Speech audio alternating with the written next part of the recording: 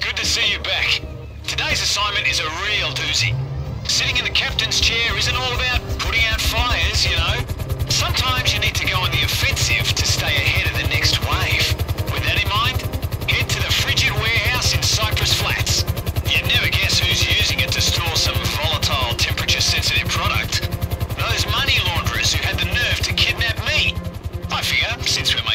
in that direction already? We'd